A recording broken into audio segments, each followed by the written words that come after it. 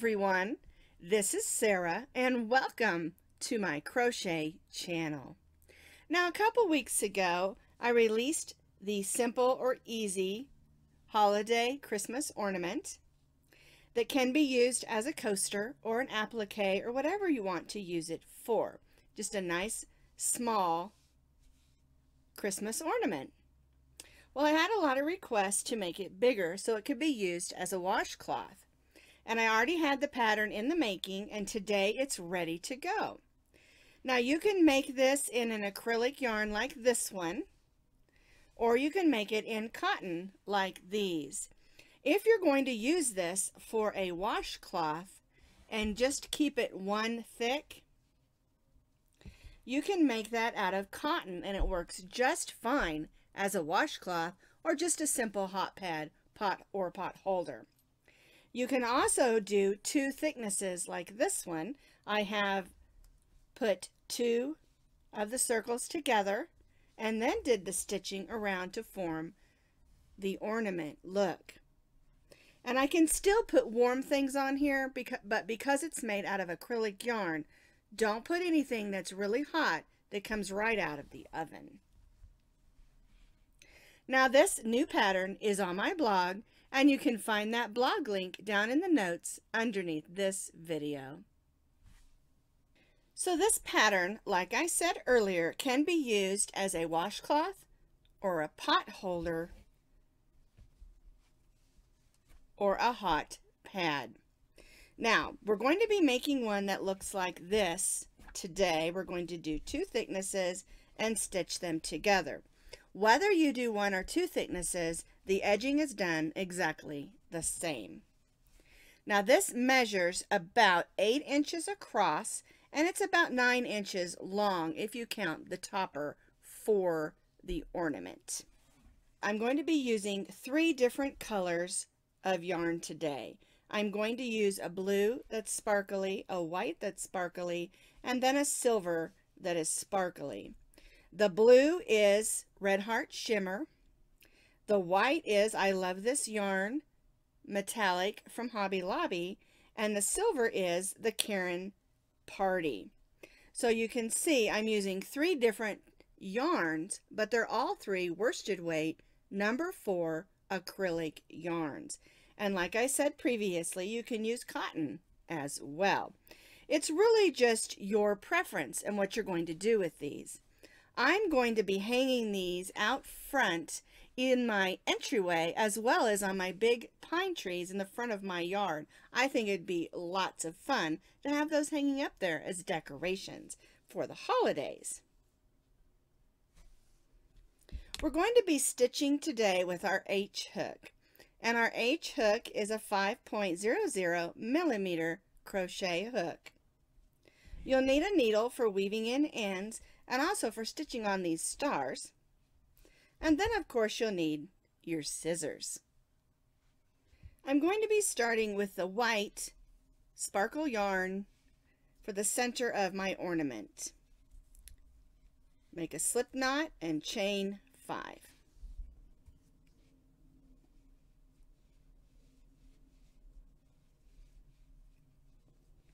We're going to join this chain five into a circle. So we'll put the tail of our yarn over our hook and pull it through and then snug that down. We'll make a little stay knot. And now we have a five chain loop. Put your hook through, pull up a loop and chain three. The chain three counts is our first double crochet. And now we're going to double crochet nine more double crochets. So we have a total of 10. Yarn over, go in the chain five loop and pull up a loop. Yarn over, go through the first two, yarn over and go through the second two. That's a double crochet. So now I have three, I've got my chain three and I stitched two. So I'm going to stitch till I have 10 double crochets in this five chain loop. Now you'll notice that I'm stitching over the tail of my yarn as I'm going through the chain five loop. And what that's going to do is it's going to help me close up that hole in the center of my ornament because we don't want a hole in there. And I'll show you how to do that in just a few seconds. All right, so let's count. Here's our chain three. So that's one, two, three, four, five, six, seven, eight, nine. So I need to do one more.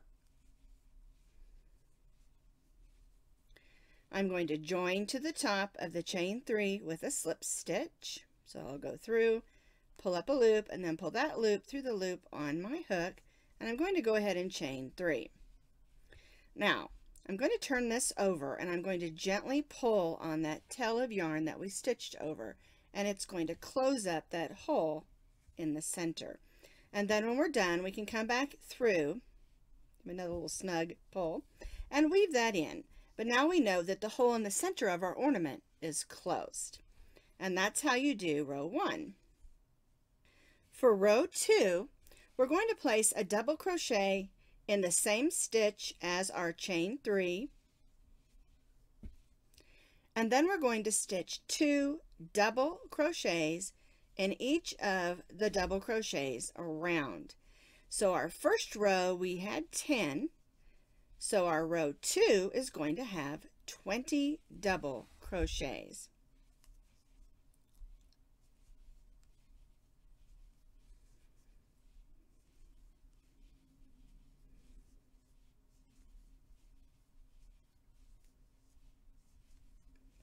Two double crochets and each of the 10 double crochets around will give us 20 double crochets for row 2.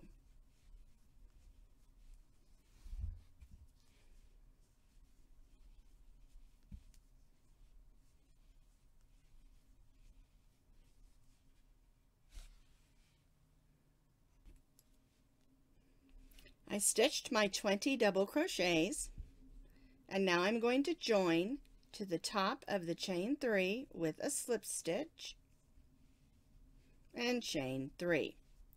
Now for row 3 we're going to be doing the same thing we did in row 2 we're just going to have more stitches.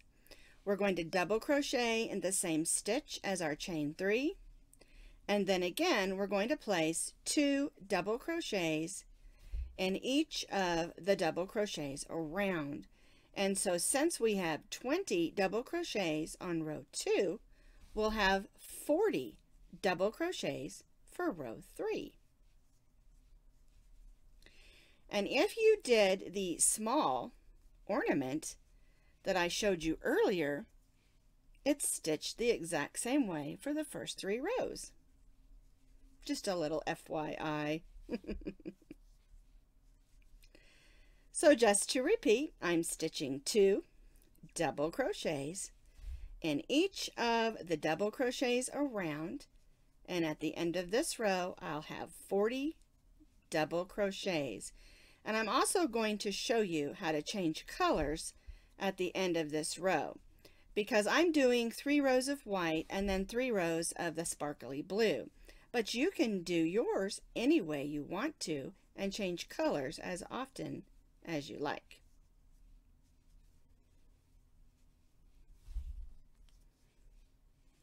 So I've stitched those 40 double crochets.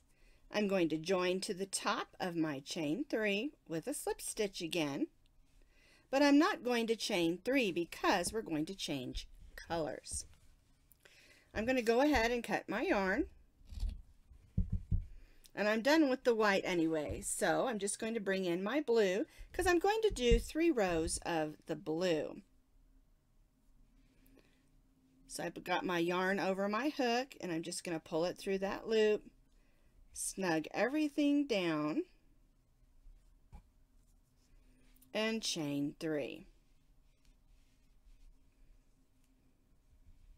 So let's stitch row four. We're going to place a double crochet in the same stitch like we did on the previous rows. And then we're going to stitch a double crochet in the next two. So there's one and two. All right. Now we're going to stitch two double crochets in the next double crochet. And so what we're doing is stitching two double crochets, one in each of the next two, and then two double crochets together. Whoops, had a little split there. So there's my two individual double crochets. And now I'm going to stitch two double crochets together and we'll work this row all the way around stitching it that way. One double crochet in the next two double crochets and then two double crochets together. Whoops. There we go.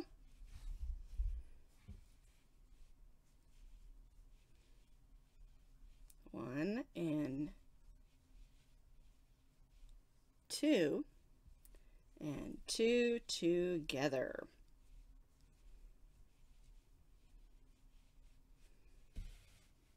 And we'll work it all the way back around till we reach the chain three and then we'll join to the top of our chain three.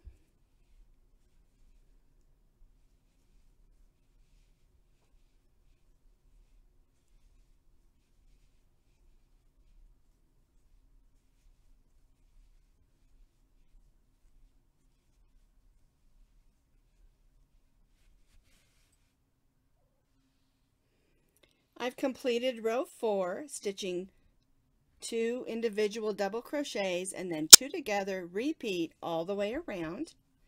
I'm going to join to the top of my chain three with a slip stitch and chain three.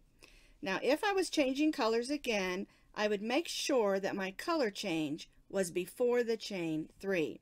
Because if you waited until after the chain three, you'd have one stitch that's the wrong color. All right, now for row five, we're again going to place one stitch in the same stitch as our chain three.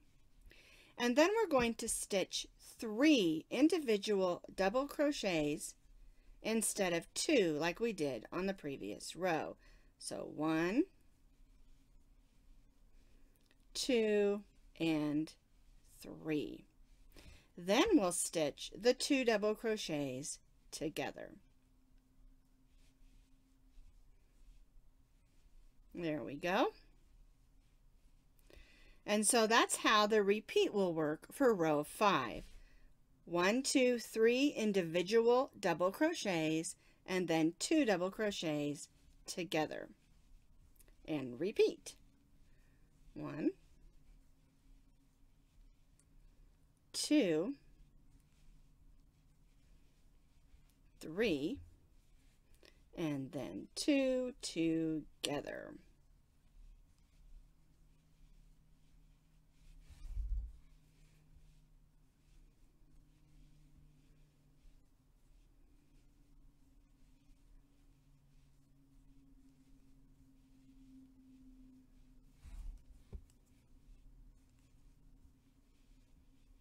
One and two. So that's what we'll do. We'll just repeat all the way around again till we reach to that chain three and join to the top of our chain three. We'll stitch one, two, three individual double crochets and then two double crochets together and repeat all the way around.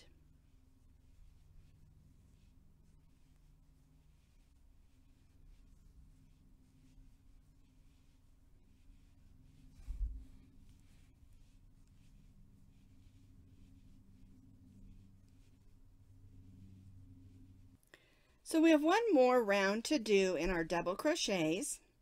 Round six, I've already joined. I'm going to chain three. We're going to stitch right in that same stitch as our chain three. And then instead of doing three individuals, we're going to do four.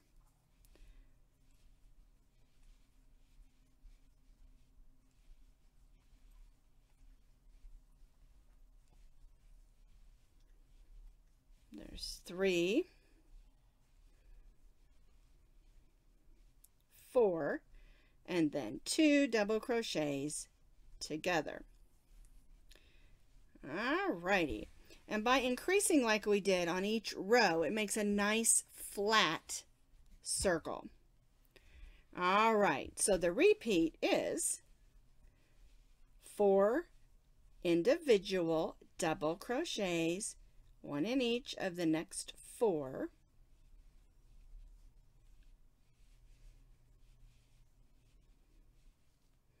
Here's my two together, and then there's my four, and then two together. So we're doing four and two.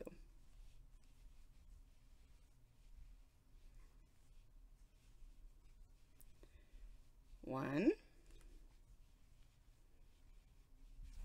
two,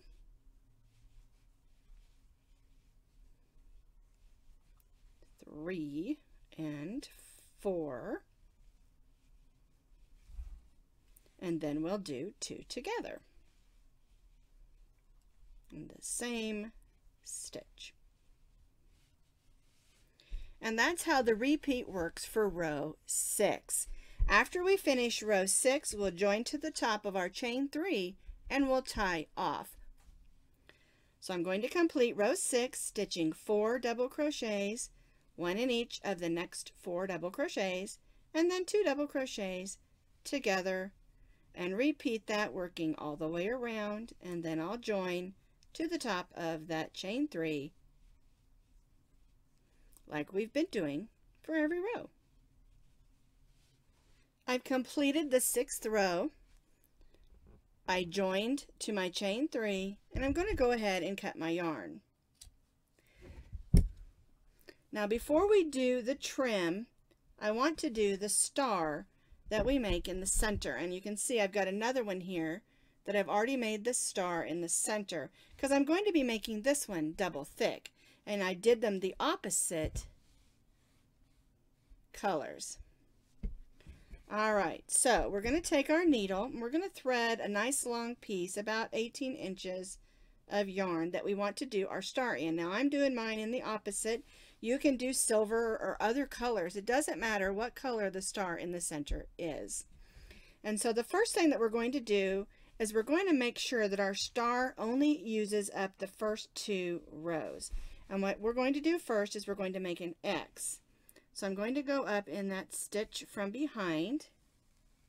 I'm going to leave some tail back there for weaving in later. And we're going to go straight down and make sure that you go in a stitch, not in a hole in between, because you don't want that uh, stitch to get pulled to the back. Okay, so there's one. All right, I'm going to turn it a little bit over. And then I'm going to make, oop, got caught in my scissors. There we go. And I'm going to do the same thing and just try to center an X on my dishcloth or hot pad. All right, so there's an X. Now my hook got caught. And now I'm just going to make a plus sign. So I'm going to come up in between the first two and do the same thing. Make sure I go through a stitch and then I'm going to come up over here and just cross that across. All right, and then what I do is I come back to the center and I just make a couple of stitches going around all those just so that it can be held in place. I make sure I try to grab all the stitches, make a cut, just, you know, just one or two, just so that's not going to come undone. Just make sure when you're weaving in that you don't let your stitches go all the way through so that you have odd blue stitches showing through that you don't want to show. All right, now we need to take a few minutes and weave these ends in, but before we do that, I'm going to show you how to add the trim and the topper. Now, if you're just using one layer for a washcloth or hot pad if you want to, just one layer, then you'd go ahead and join in your silver or whatever yarn you're using for your trim and your topper. But since I'm doing these two together, I'm going to take the other one that I made and turn it upside down. And then I'm going to go ahead and line up the edges of the hot pad together. All right. I'm going to grab my silver yarn. I'm going to go ahead and bring that silver yarn in on that loop. I'm going to go ahead and tuck in all those strings inside.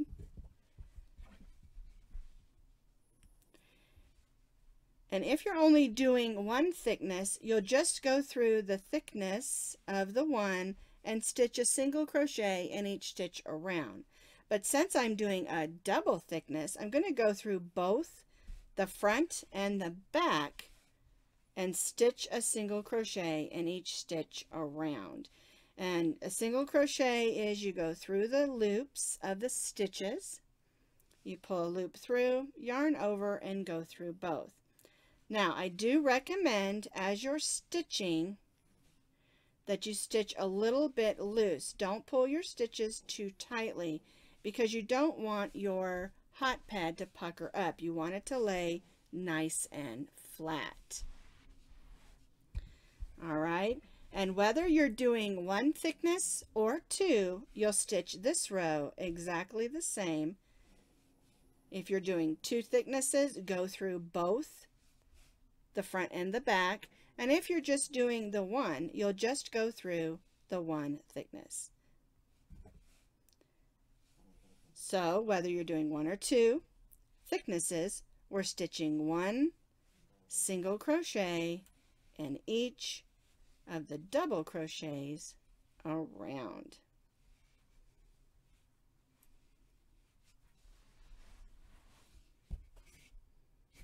And we'll do this all the way around and then we'll join back to our first single crochet.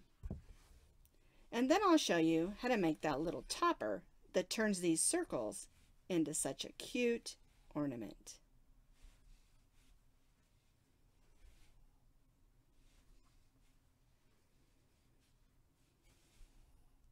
I stitched that row of single crochet all the way around, stitching my two thicknesses together. Now, if you're just doing one thickness, it'll look just the same. One single crochet in each stitch all the way around, and then join with the slip stitch to the first single crochet. And now we're going to make the topper that makes this look like an ornament. So we're going to chain one and we're going to place a single crochet right in that same stitch and then we're going to stitch seven more so that we have eight single crochets.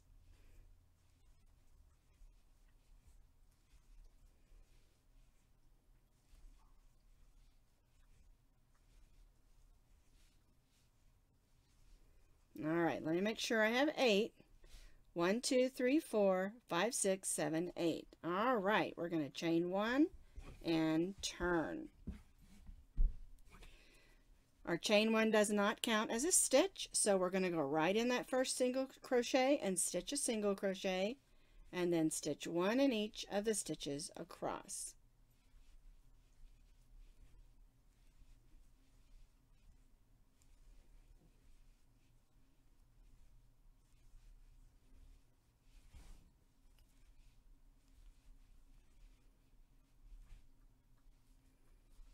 Alrighty, there's my eighth.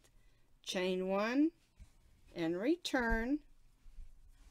I mean, take two. Chain one and turn, and then we'll repeat. One single crochet in each of the eight single crochets across.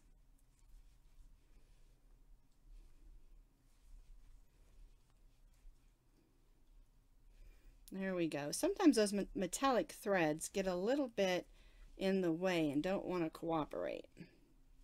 There we go. Alrighty. Chain one and turn. Alright, so now we're only going to place a single crochet in the first four. So one, two, three, and four. Then we're going to chain seven. One, two, three, four, five, six, seven. That's going to be the loop for our ornament. So we'll go right back to the next single crochet and stitch a single crochet and then we'll stitch in those last three.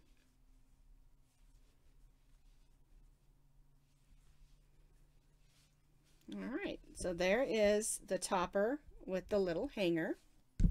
We'll go ahead and cut our yarn, tie that off, and then we need, just need to weave in that end.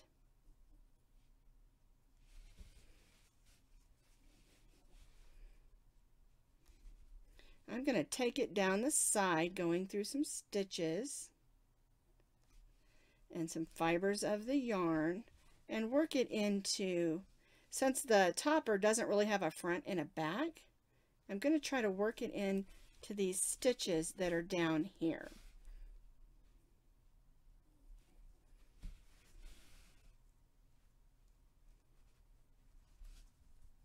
There we go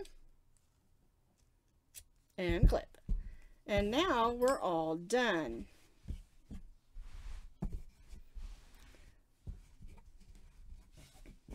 Here's our topper. And here's our ornament on the front and then on the back. So here are the two that I made with double thicknesses. And then here are two that I made that are made out of cotton that are just a single thickness. So it's kind of up to you and how you want to make them. You can see that I didn't do them all the same. Striping them with different layers using variegated, solids, cottons. It's up to you how you want to make your Christmas ornament. Washcloths, hot pads, or pot holders.